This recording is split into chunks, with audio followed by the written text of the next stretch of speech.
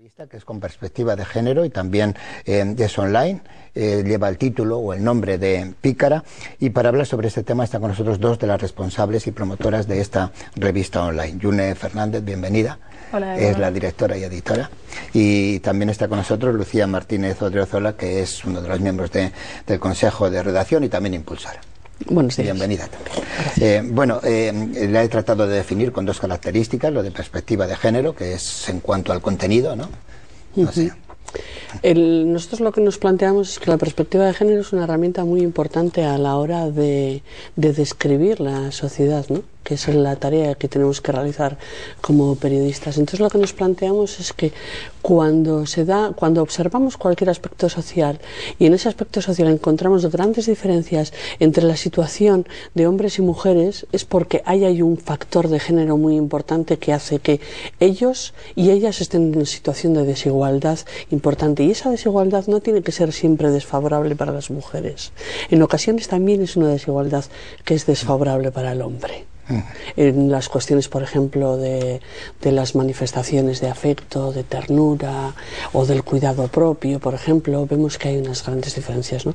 Entonces, el, se nos desvela como una lupa muy importante para observar la sociedad sí, y nos parece una herramienta muy importante sí, sí, y queremos usarla. Sí, sí, desde luego. Pero eh, estrictamente no la podríamos definir como una, como una revista feminista o también, o... También. También. Nosotras somos feministas y tenemos claro, o sea, entendemos el feminismo como una doctrina, una escuela de pensamiento que ha transformado de forma fundamental la sociedad y creemos en el modelo social que propone el feminismo. Y creemos, como dice Lucía, que esto de tener integrada la perspectiva de género es útil también como periodistas. ¿no? Eh, a, a, menudo se piensa pues eso, que la perspectiva de género es pensar en las mujeres. Pues como ya ha explicado Lucía, no creemos que sea así, sino que es una herramienta de análisis para mirar a cualquier tipo de realidad y ver también cómo se sitúan los hombres frente al reto de la igualdad, por ejemplo. ¿no? Entonces, sí, eh, perspectiva de género feminista, ¿por qué no? Tampoco tenemos miedo a esa palabra. Creemos que sigue habiendo mucho miedo y que se siguen confundiendo feminismo con embrismo, por ejemplo. Nosotras no tenemos miedo en defender pues, a una escuela del pensamiento que, que ha sido sí, fundamental. ¿no? Bueno, no sé si revista o magazine, o magazine, revista o tampoco, o tampoco hay especialmente. Magazine ¿no? quedaba como más chic, ¿no? Pero... bueno, y lo, y lo de online, eh, uh -huh. cada vez se, se, está introduciendo más, cada vez Internet está más metido en nuestras vidas, pero sí que hay que reconocer que todavía para determinadas personas, en un número bastante elevado, pues una revista online es hasta cierto punto una novedad. ¿no? No lo sé, el, nosotros no, nosotras no podíamos hacerlo de otra forma, yeah. porque el, el, hacer una revista el, online, la ventaja que tiene es que eliminas el papel y eliminas la distribución. Y esos son unos costes muy importantes. Si hubiéramos tenido que hacer esa inversión, no habríamos podido llevar a cabo esta fantasía, que es mm. una fantasía, una ilusión adelante, ¿no? porque contamos con muy pocos medios, contamos con, con nuestro entusiasmo sobre todo y con quienes hasta este momento están siguiendo y entusiásticamente se han puesto en contacto con nosotros incluso para ofrecernos textos mm. y para ofrecernos sí, sí. participación del tipo sí, que fuere. Y otra ventaja del online es que hace que la revista esté viva, ¿no? Porque de otra manera sería un número que llega a casa, lo leemos en un par de días y lo dejamos en la, en la mesita del sofá, ¿no? En cambio de esta forma todos los días podemos meter contenidos nuevos, eh, hay mucho seguimiento por las redes sociales y vemos todo el rato interacción, ¿no? La gente nos, nos dice lo que le parece, nos hacen propuestas y es algo vivo. Y la manera de acceder a la revista pues es entrar, entrar. en internet. Eh, eh, Escribimos Pícara Magazine, Pícara con K y Magazine con Z, acabado en E, eh, y damos con ella directamente, uh -huh. ¿no es así? Y además no hace falta en principio ningún tipo de suscripción ni contraseña, sino que el acceso en principio es libre. Absolutamente libre. Sí. Nuestra consigna sería más o menos lee y difúndelo todo. Así bueno, pues vamos a ir viéndola porque los medios de, de comunicación precisamente no, nos permiten y por lo tanto el primer acceso, digamos, a la, a, a la revista sería eh, la página de inicio que podría ser como bueno pues la portada de, de una revista ¿no? es la que uh -huh. la que podemos la que podemos ver y ahí con, tenemos tenemos con todas las si vamos aquí a la página de la página de inicio Eso ahí, ahí, ahí se, se puede ver pues, la, sí, el, tema, este el tema momento, principal, ¿verdad? Sí, en este momento tenemos sí. importado un artículo Mm. que nos ha escrito Miguel Lorente, que es el delegado del Gobierno para la lucha contra la violencia de género. Es un artículo sobre el posmachismo muy interesante, ¿verdad? Uh -huh. Sí, está muy bien eh, lo que decíamos de no mirar solo a las mujeres, sino también la responsabilidad de los hombres y las resistencias que está habiendo entre los hombres para avanzar hacia la igualdad, ¿no?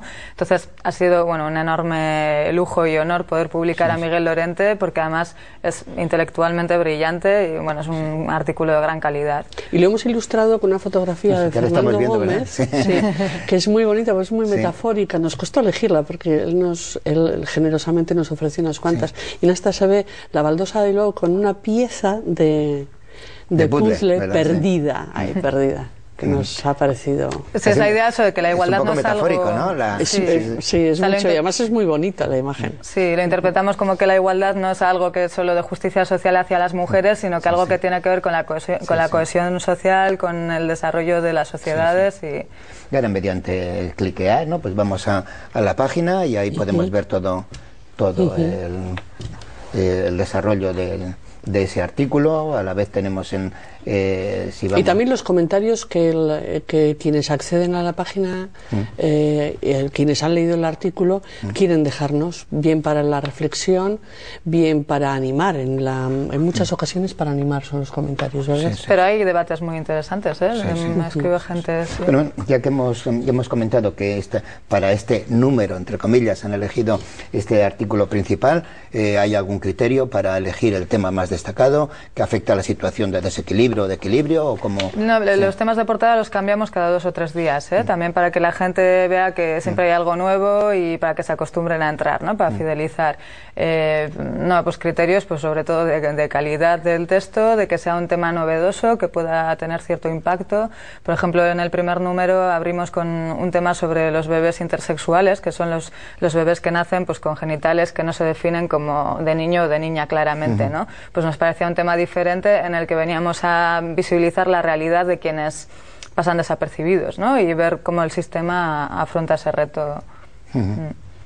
En principio supongo que son muchos los temas que, que caen y además eh, todo acontecimiento puede tener esa perspectiva o esa visión, ¿no? Sí, nosotros lo que nos planteábamos es que había cosas sobre las cuales nos gustaría leer en los medios de comunicación generalistas o hegemónicos, como queramos llamarlos, y sin embargo no los encontrábamos, ¿no?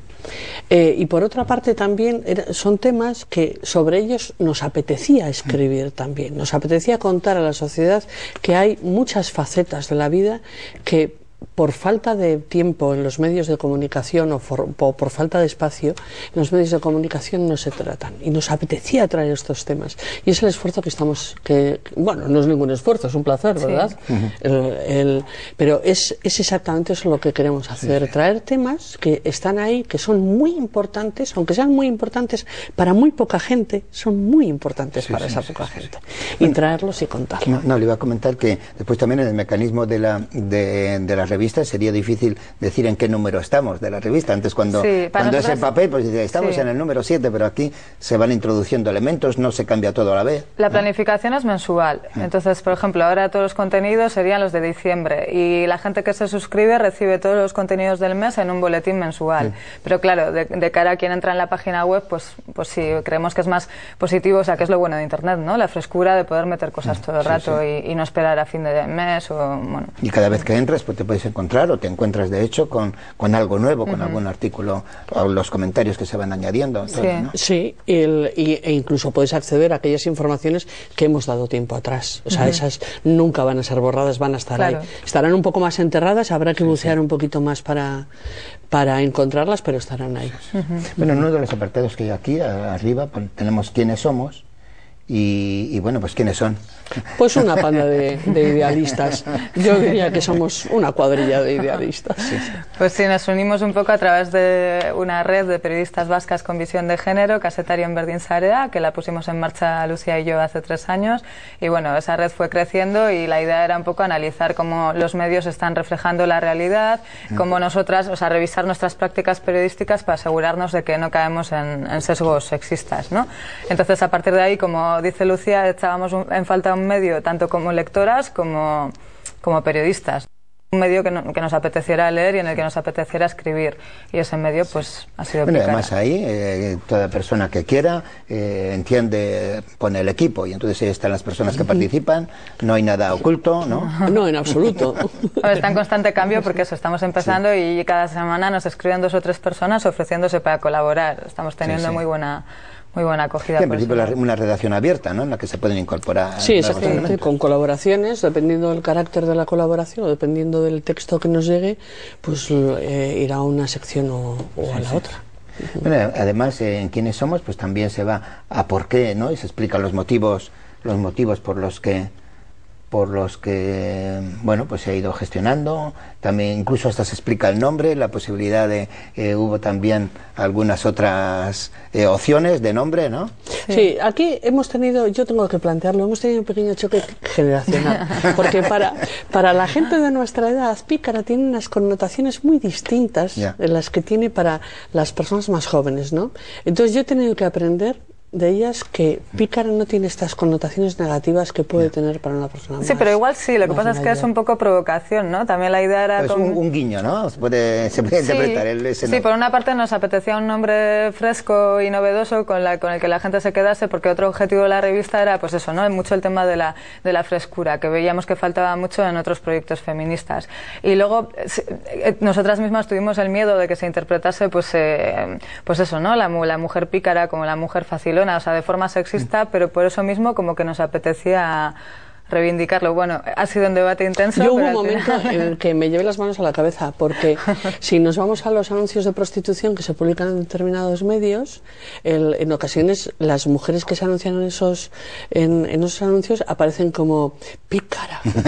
Entonces yo decía, ¿a dónde nos va a llevar esto? ¿A dónde nos va a llevar esto? Pero bueno, finalmente me convencieron y ahora estoy muy contenta. Creo que ahora lo reivindico mucho más que ellas incluso.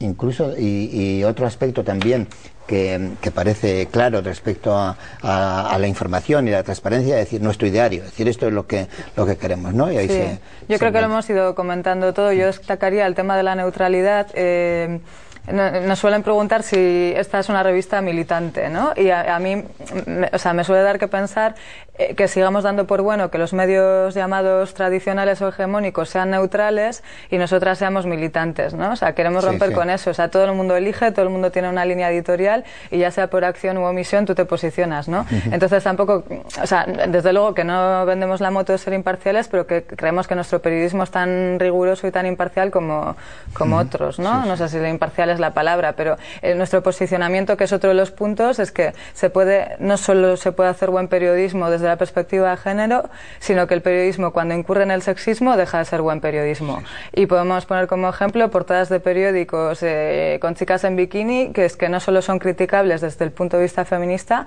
sino desde el punto de vista de que no tienen ningún interés informativo, por ejemplo, ¿no? entonces, eh, si nos reivindicamos eh, no nos importa definirnos como feministas, pero sobre todo lo que estamos haciendo es un buen periodismo y demostrar... En todos eh, los objetivos se deja claramente, ¿no? cuál ellos, se dice la calidad es uno de los objetivos a conseguir, ¿no? Sí, y claro, por ejemplo, o sea, hemos comentado temas más específicos pues, de los estudios de género, ¿no? Pero mm. también hemos sacado temas como puede ser la situación en el Sáhara, que aparentemente es un tema neutro, pero lo que hacemos en Pícara es asegurarnos de que en ese reportaje general hay más o menos tantas mujeres como hombres, o sea, que se las visibiliza, que esas mujeres no están estereotipadas como siempre mujeres víctimas, sumisas, dependientes, sino que tienen un rol activo, ¿no? Y eso, y mostrar pues una perspectiva de derechos humanos, sí, sí, Bueno, y además una de las cosas que se escribe, es nadie es, nadie es neutral, ¿no?